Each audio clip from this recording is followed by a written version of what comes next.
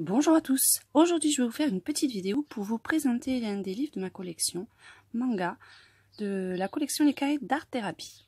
Donc, comme tous les carrés d'Art Thérapie, livre petit format, un peu plus petit que format A5, couverture souple, un grand nombre d'illustrations. Toujours petit prix, 4,95€ et à l'intérieur vous avez une centaine de, coloriages à réaliser. Hein.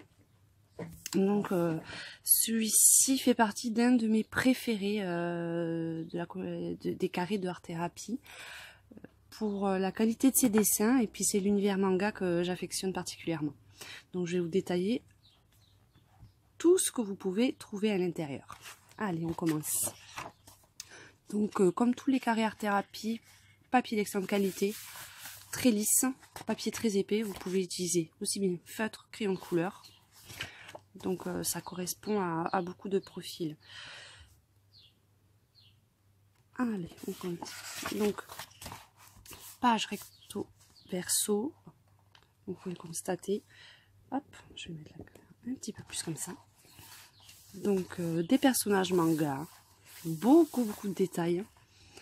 Donc, euh, les graphismes sont assez riches. Vous pouvez voir petits animaux. Donc ça c'est un que j'avais réalisé uniquement au feutre. Euh, j'avais utilisé euh, pour celui-ci les, euh, les Stabilo Je trouve que c'est assez sympa, surtout avec les, les, mines plus petites pour faire tous les petits détails. Donc ça c'était un des premiers que j'avais fait sur ce livre. beaucoup de petits chiens, de petits chats, d'ados. Ça c'est un que j'avais fait pour un petit concours pour les sirènes également réalisé en grande majorité, à part pour le, la partie du personnage et les ailes, c'était euh, au, crayon de couleur et le reste stylo gel et feutre. des pages illustrées avec du texte aussi.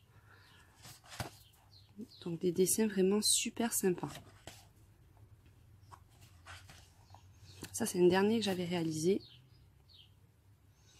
Celui-là, euh, entièrement au crayon de couleur polychromos. C'est à part quelques petits détails, où je voulais que ça ressorte un petit peu plus pailleté, j'ai utilisé les stylos gel. Celui-là, j'aime beaucoup. Et celui-là aussi, je pense que je ferai au stylo gel parce que toutes les toutes petites écritures, euh, c'est assez minutieux.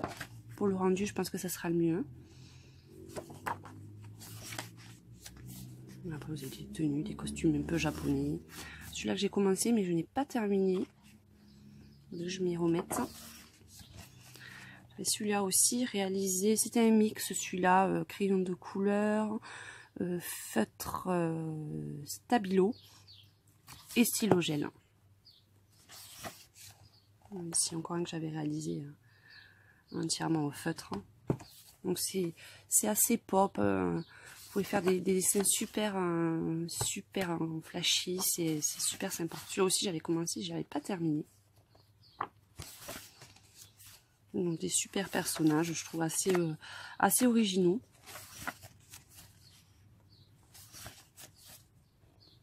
c'est vrai qu'ils sont assez, longs malgré la taille du livre, ils sont assez longs à faire parce que c'est tellement minutieux et détaillé que ça prend quand même un certain temps à, faire à chaque fois.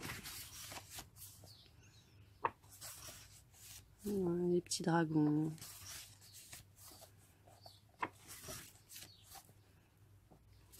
Comme je vous ai dit, il y a une centaine de, coloriages. Donc, euh, compte tenu du petit budget, je trouve, euh, du petit budget, je trouve que c'est quand même un, super investissement et vous avez vraiment, vraiment de quoi, de quoi vous régaler. Hein.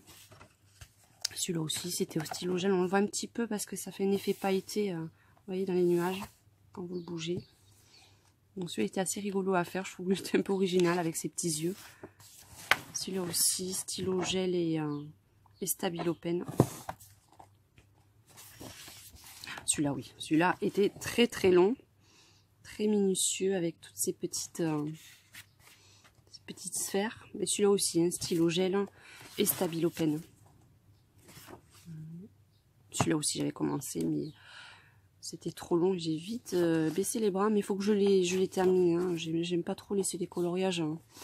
à moitié finis. Je pense que j'y reviendrai quand même un jour ou l'autre dessus.